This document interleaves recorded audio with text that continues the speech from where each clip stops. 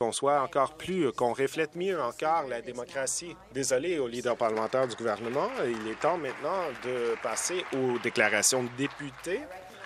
Député de Niagara Centre, merci Madame la Présidente. Euh, Écoutez-moi, aucune nouvelle taxe.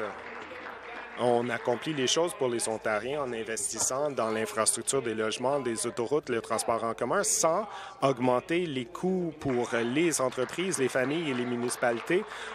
Hier, on a déposé le projet de loi pour le budget de 2024 et on accomplit les choses pour les Ontariens et les gens du Niagara, comme dans le reste du monde. On fait face à plusieurs incertitudes euh, financières en raison des hauts taux et de l'instabilité économique, mais euh, en ces temps, on continue d'aller de l'avant et d'assurer qu'on puisse accomplir les choses pour les familles de toute la province. En dépit des défis auxquels on est confronté, les Ontariens, l'Ontario continue de délivrer sur son plan de bâtir plus d'infrastructures, de logements et d'attirer plus d'emplois avec un meilleur salaire, tout en réduisant les coûts pour les familles et les entreprises et d'avoir une voie prudente à l'équilibre budgétaire, de bâtir un Ontario plus fort, veut dire de prolonger la réduction de la taxe sur l'essence, d'éliminer les péages, le redéveloppement de l'hôpital West Memorial, d'ajouter plus de soins primaires pour 11 000 Ontariens ainsi que d'appuyer l'hôpital du Niagara pour euh, le bâtir et de réduire la taxe pour euh, les viniculteurs, euh, comme le ministre des Finances l'a mentionné en cette période incertaine, ce qu'on doit faire, c'est de continuer de l'avant et c'est ce qu'on va faire pour euh, les Ontariens et tous les, personnes du Niagara. Député de Témiscamingue Cochrane, euh, déclaration. Plus tôt, au mois de mars, l'hôpital Engler a dû euh, fermer sa salle d'urgence en raison d'une pénurie des médecins et comme plusieurs hôpitaux ruraux, ils font face à des problèmes d'augmentation des coûts en raison de, recours euh, aux agences de placement pour le personnel. On fut très intéressé dans le budget pour voir s'il y aurait une augmentation. Il y a une augmentation pour le fonctionnement de base de l'hôpital, mais c'est moins que le taux d'inflation, donc c'est une compression. Et on n'a rien fait pour prendre en compte un des plus grands enjeux dans les hôpitaux, c'est de payer pour les agences de placement, les infirmières et les PSSP. C'est un grand problème et c'est un enjeu que le gouvernement semble vouloir complètement ignorer ou même perpétuer à l'infini. Lorsqu'on voit dans nos hôpitaux la plus grande dépense, c'est les infirmières des agences de placement. Et on sait que les coûts sont beaucoup plus élevés en raison de la marge de profit des agences de placement. Et c'est un problème qu'on doit euh, euh, corriger. Est-ce qu'on a besoin d'avoir recours à des agences de placement? Dans certains cas? Oui, mais pas autant que c'est le cas en ce moment. Le gouvernement a complètement euh, cafouillé dans ce dossier et on ne sait pas pourquoi. Ils doivent agir immédiatement. Merci. Déclaration de député, député de Newmarket Aurora. Merci, Monsieur le Président.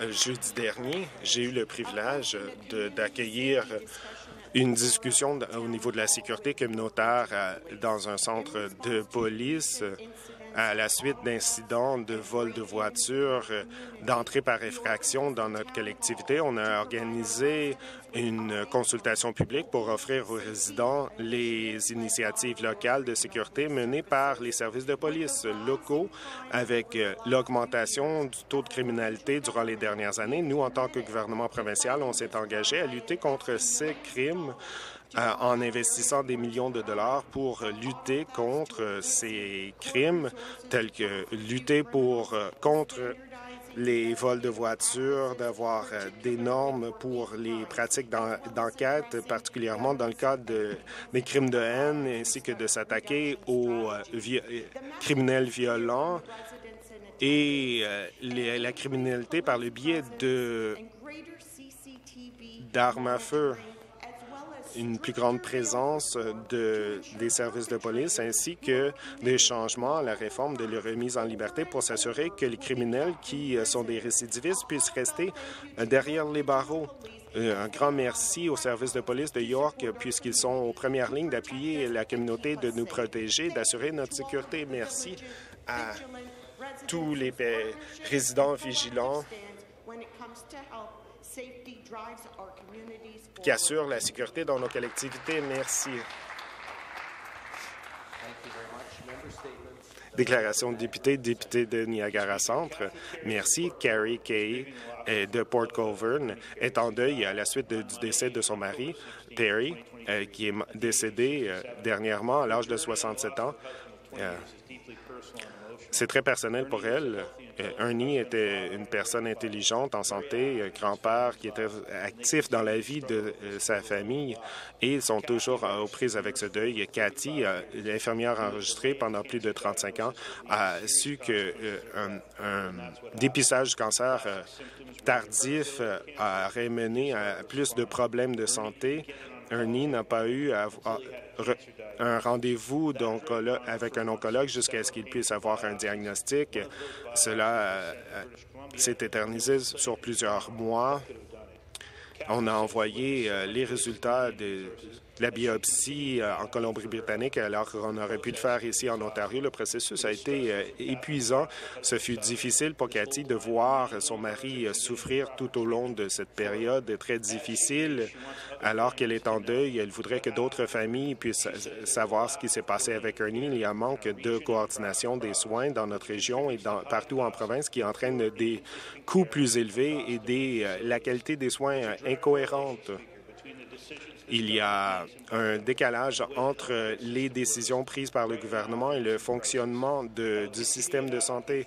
On est en crise. Je vais continuer de militer pour Cathy et sa famille alors qu'ils font face à une pénurie des membres du personnel et des plans des hôpitaux qui sont en train de réduire l'offre de services euh, avec les soins chirurgicaux alors que la population continue de croître. On doit faire mieux, Madame la Présidente. Monsieur le Président, déclaration député, député de Kitchener-Conestoga. Merci. Vous allez être ravi d'entendre que le 6 avril, c'est le 60e anniversaire du festival de, des sucres, de sucre d'érable de Maplewood. Et on s'attend à ce qu'il y ait 80 000 personnes qui puissent y aller pour une ville qui euh, peut accommoder 15 000 personnes. Donc, ce sera très achalandé. Ce sera un peu différent cette année. Au mois de décembre de l'année, on a perdu un champion du Festival d'Elmira. Doug McLean est décédé. Il a servi au sein du comité pendant plus de 35 ans, deux fois en tant que président et aussi en tant que membre.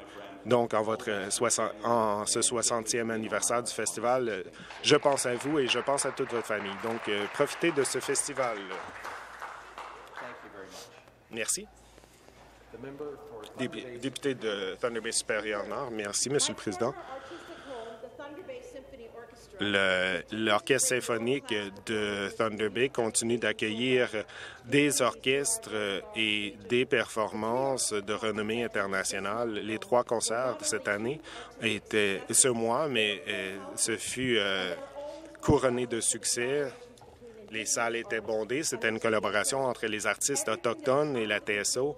Tout ce qui est sous le contrôle de l'organisation est sur de bonnes bases, mais malheureusement, on ne peut pas euh, euh, compenser pour euh, toutes les compressions, les années de compression. Hier, il n'y avait pas aucune annonce pour une augmentation du financement. En fait, on n'a pas parlé des arts du tout dans le budget. C'est une vision à très court terme. C'est une organisation essentielle qui permet de diversifier l'offre de services. C'est un centre essentiel pour Thunder Bay et je sais que la centralité des services est essentielle pour toute la province. Les artistes de toutes les disciplines sont un des piliers de nos collectivités et le gouvernement doit le reconnaître et rétablir le financement pour les organisations qui appuient tout cela le Conseil des arts de l'Ontario. Merci, Miigwech.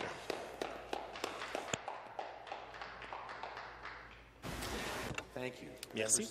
Déclaration de député, député de Markham Thornhill. Merci, Monsieur le Président.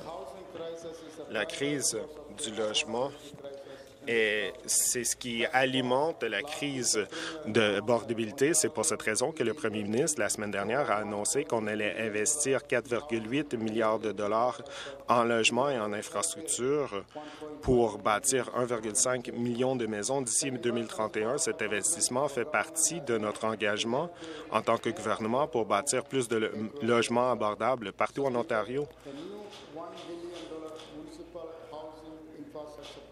Ce programme de financement d'un milliard de dollars permettra d'appuyer toute l'infrastructure nécessaire pour bâtir plus de logements tels que des routes, des égouts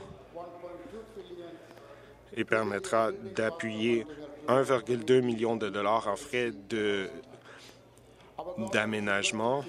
On investit pour bâtir des logements que les Ontariens peuvent s'acheter et d'offrir différents types de logements dans la région de York et dans ma ville de Markham. On a hâte de travailler avec le gouvernement pour, pour qu'on puisse euh, mettre en place plus de mises en chantier pour euh, bâtir plus de logements abordables. Je voudrais remercier euh, le ministre du Logement et le ministre associé du Logement pour tout le très bon travail qu'ils ont fait pour bâtir plus de logements. Merci.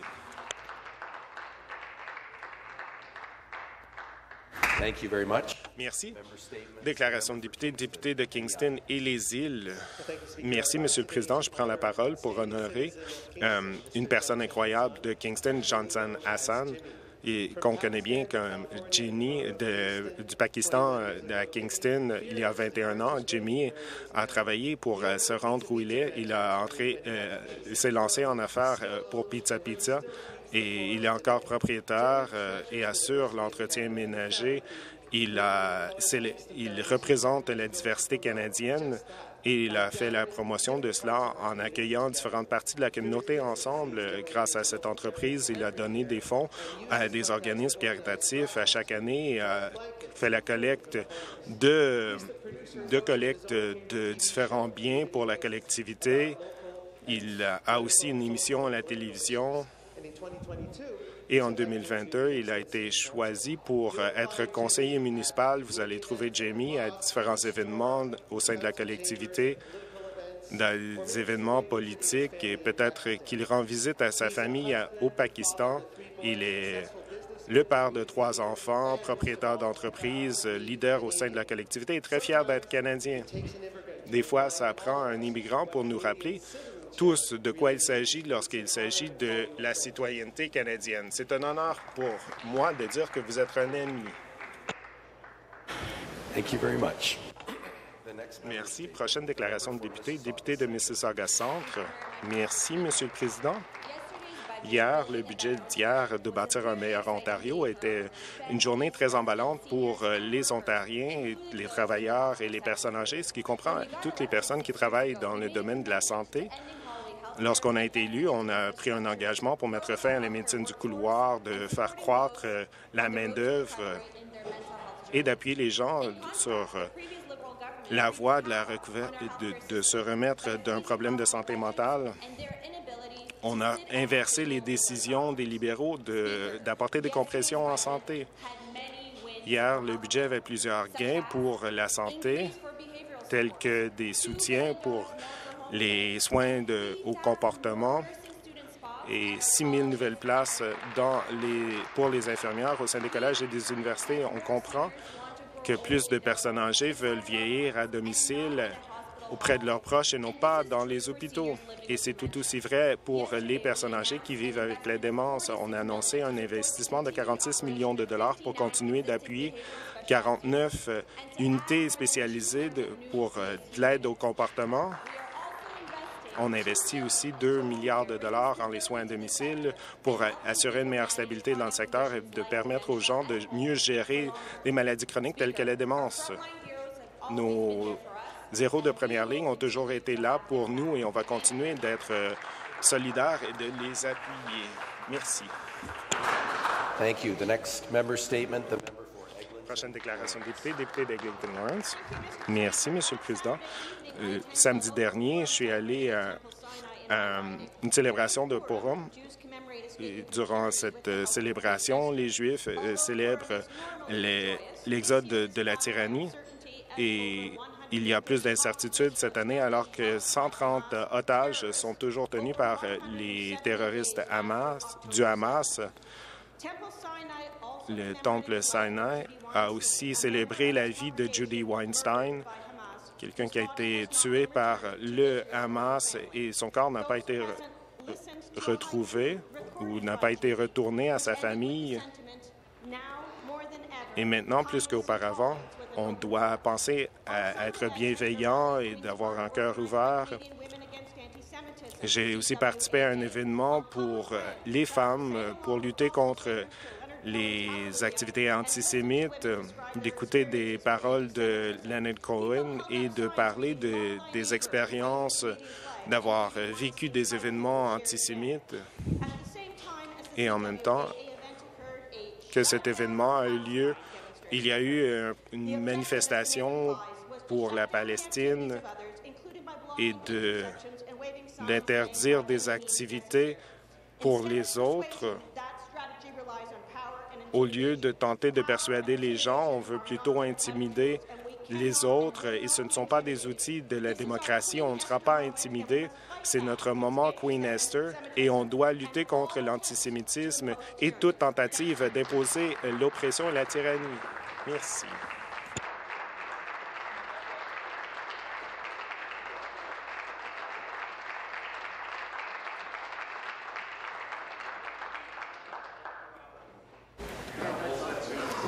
Thank you very much.